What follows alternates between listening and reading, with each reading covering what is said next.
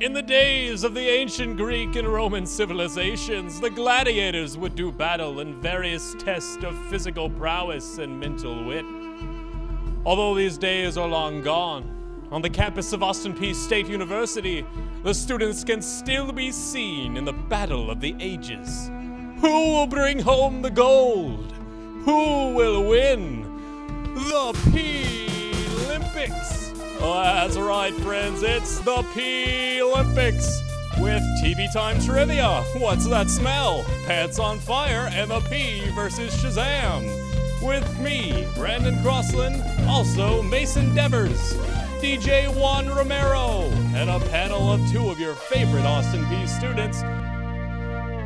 Welcome to the show, everyone. Now it's time to meet our two lucky contestants that get to be on the trivia portion of the Olympics. Today's topic for our trivia segment will be if you're a couch potato. That's right, it's TV time. Now, first, let's get a look at our contestants. So, if you would, we'll start over here. Just tell us a little bit about yourself. Um, my name is Haleigh Smith. I am a junior here at Austin Peay State University. I'm broadcasting and communications with a broadcast media and double minoring in event planning and PR.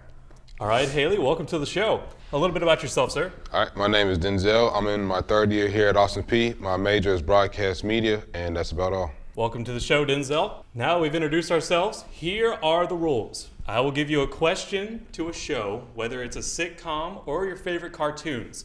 Now, whoever buzzes in the correct answer will get 100 points for this round. If neither of you guess the correct answer, then I guess you're all losers. Let's get started. Is everyone ready? Oh yeah, we're ready. Let's go Peay. All right. First question. Get ready. Which cast member of the TV sitcom Friends is the oldest in real life? Haleigh. Lisa Kudrow. That is correct. 100 points for Haleigh. Congratulations. Now, time for the next question. Question number two What sort of business did George Jefferson own on the TV show The Jeffersons? Denzel. Dry cleaners. That would be correct. Now, for our last and final question of round one What was the crude, rude, popular cartoon in the 90s where that, that involved two guys that were vulgar and had weird names? That's a draw, but I'm going to have to give it to Haleigh. Uh, Beavis and Butthead. Beavis and Butthead is correct. And the winner of the trivia portion of the Peay-lympics will be Haleigh. Congratulations, Haleigh. Thank you all for competing in the trivia portion of the Olympics. When we come back, stay tuned. We'll have another round of the Peay-lympics. Don't go anywhere. Welcome back to the show. How well do you trust your nose? Can you tell the difference between a stinky gym sock and blue cheese? Does a rose smell just as sweet when blindfolded? Is the bowl of chocolate pudding or a bad case of diarrhea? Welcome to the segment of our show called What's That Smell? It's round two, ladies and gentlemen. In this segment of our show, two contestants are asked to identify the smells of the mystery objects placed under their noses. Each contestant will be blindfolded and given a white board. My assistant here will then place various items under contestants' noses, giving them a good whiff of its smell, and contestants may also feel the item if they choose to do so at their own risk, of course. I will tell you to take off your blindfold and write down what you think the object was. Now be careful not to let the person next to you see what you wrote. If a contestant can identify and write the correct item on their board, you'll gain 100 points. This is a very important round if you're looking to win the whole thing. After three rounds, we will find out who has the better nose or who has the weaker stomach. Get that bucket ready. Does everyone understand how this game works? Yep. We're all good? All right, let's go Peay. Do we have a paramedic in the house just in case? Just making sure. Let's get started now. Contestants, would you now please place your blindfolds on securely over the eyes? There we go. Can I get my assistant to make sure nobody's peeking? Mr. DJ. Alrighty, here is item number one. Would you please choose which one? Now, DJ gets to choose which one he wants to give these guys. Uh, let's take that out of the bag. Uh, yeah, we want, we want them to really smell this one, this first item here. All right, take a look here. Give a good smell, Mr. Denzel. All right, now over to Haleigh. Do you smell that? Indeed, she does. All right. It's time to remove your blindfolds and write down what you think that first item was.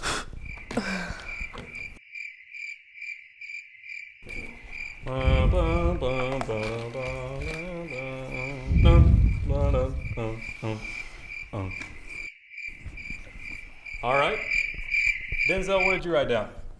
He says dirty sock. Let's see what Haleigh has. Pea soaked sock. Well, that's a very detailed answer, but you know, you're both correct. It is a sweaty gym sock, so you both get that 100 points. But my, uh, so let's go ahead and erase those really quick and get those blindfolds back on, and we'll get the second item. All right, if you got the next item ready, go ahead and get it to Denzel. Good whiff of that. He smells nothing, it seems like. Let's pass that over to Haleigh. Haleigh, do you smell that? I'm hearing a lots of laughs from the back here. they must be pretty good. All right. Go ahead and write down what you think that is as you take your blindfolds off. Thank you, good assistant. All right. All right, Denzel, go ahead and put up yours. He has no idea. A big old question mark for Mr. Denzel. All right, Haleigh, what is your answer? Pool chemicals. That is correct. 100 points for Miss Haley. All right, time for our final third item. 100 points will be awarded to whoever can guess this item. Assistant, if you please. Take a look at this item. Studio audience. And folks at home. Denzel, you got that smell? All right, pass it over to Haleigh. Wonderful. All right. If we think we've got that, go ahead and take the blindfolds off and write down your answer.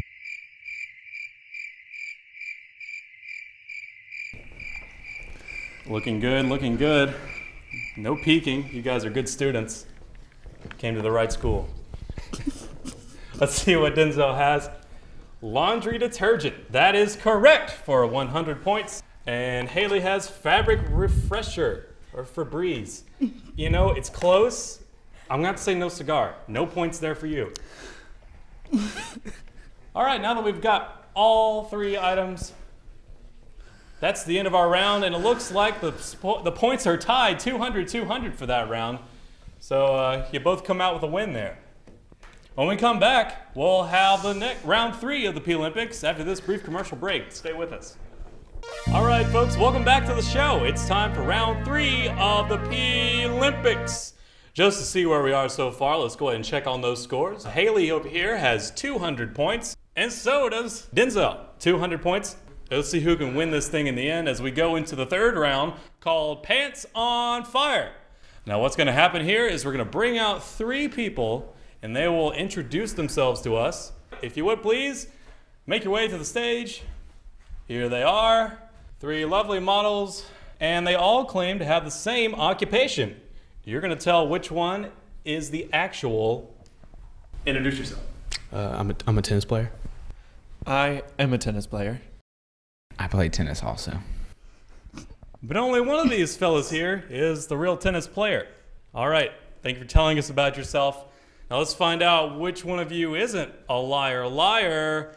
Pants on fire! Alrighty. Okay, contestants, you're gonna get three questions to ask each one of these tennis players that you choose. Choose your questions wisely, because, though, because at the end you must decide which one of these three gentlemen you believe is the real tennis player. Are we ready? Let's Yeah. go, Peay. All right, contestant. All right, Haleigh. We picked you in a random drawing, and uh, you're going to get the first shot at the question for these fine gentlemen. So go ahead and pick which one you want to ask. I'm Gonna ask tennis player number three here. What would you say is was your hardest match? Um, in high school, um, I had to play in the regional championship, so I would have to say that was probably my hardest match. All right, that was a uh, very nice answer. Let's uh, give Denzel a chance to uh, choose any of these. Uh, tennis player number two. All right, fire away. Who is related to Serena Williams? I would have to say Venus Williams. Hey, hey, hey, that's a very good answer and a good question as well. Let's give Haleigh her second question. Tennis player number one. What is your favorite racket to use? Can you can you clarify the question for me? Like what type? Like the brand name? The brand? Yeah. Hmm. I'd have to say Prince. I don't even know that that racket brand to be honest. So you know I'm not the tennis player. Okay. Uh, give you your second question. Uh, tennis player number three. Of the two sisters, Venus and Serena, which one is the oldest? That would be Venus. Interesting. Interesting. All right. Your final question. Be careful. This is your last one, so make it count.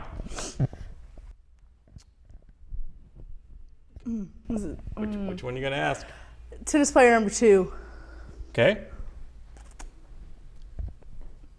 Think of something, or What? you will be eliminated. Where was your favorite location to play? Well, actually, I played at Wimbledon in London, England.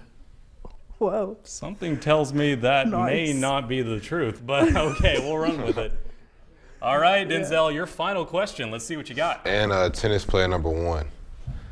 How many points have to be scored to win a match? A hundred. A hundred what? Tennis player number one is the real question. all right. Now that we've got all of the questions out of the way, now you two will get the chance to guess which one you think is the real tennis player. So Haleigh, which one of these three guys you think is the real tennis player based on the questions that have been asked? Gonna have to go with uh, tennis player number three. Tennis My player answer, number yeah. three is her final answer. Very interesting. All right, Denzel, what do you think about this one? Well, I'm going with the uh, the Wimbledon playing one and tennis player number two. What's your reasoning behind this? Uh, I don't know. You have no, you have no, no, uh, no, nothing to back this up. Nope, no claim. Well, okay. Good luck to you both. Uh, let's see. Uh, would the real tennis player please raise your hand? All right, it's tennis player number three. Congratulations, Haleigh. How did you know? It's, it's just so amazing. Just went with my gut. Went with your gut. That's a really great mm. answer. All right. Don't don't go anywhere. When we come back, oh, that means that Haleigh gets the 100 points for this round. When we come back, which gets her up to 300 points. So we're heading into the final round. Denzel has a chance to come back, or Haleigh will take the win. We'll see what happens in this final round of the Peay-lympics. Don't go anywhere, folks.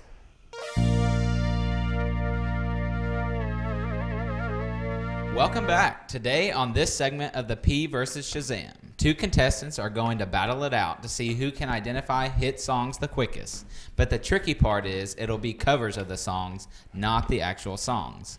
One will be left at the end and we'll see who's better, humans or one of the greatest musical minds ever. Shazam. Throwing down the beats today, let's give it up for the one, the only DJ Juan. What up, DJ Juan? Y'all, you know what I'm saying? Doing the beats. How you feeling today? How you feeling? We feeling good, bro. All right. Well, I'm saying? excited. Uh, Got the we're gonna have. turntable. Well, good, good. Are you contestants? Are you guys ready to get started? Yes. Yep. All righty. Well, let me tell you how it's gonna work. On my cue, DJ Juan will play a huge hit song. The first one to guess the right answer gets the points. For the first time, each song will be worth 1,000 points. Are you guys ready to play? Yes. Yes. All right, let's get this started. Today's category will be 2010s. DJ Juan, hit it. How can I make sense when I got millions on my mind? Coming with that ball and I just leave it on the side. All right, contestants, write down what you think the answer is. I have no idea. All right, Haleigh, what do you think the song is? It is the incorrect answer of lighters. I got these fresh eyes. And Denzel, what do you think the song is? We got a question mark here. That song was "Congratulations," originally sang by By Post, Post Malone. Malone. Featuring Quavo. Let's go, Migos. That's right, DJ Juan. Yeah. All right, so this is going to be our last song for this segment, and that means that it's time for the fast track. Fast track means fast points, so it's going to be double the points this time.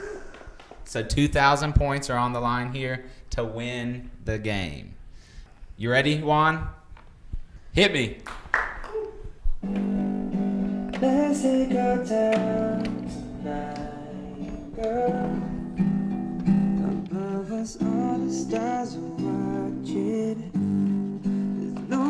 no I'd rather be in this world. All right, contestants, write down your answers. First, we're going to go over to Haleigh. Haleigh, what do you think that hit song was? It's Versace on the floor. She's got Versace on the floor. All right, Denzel, what do you got? Three question marks. Not just one this time, but three.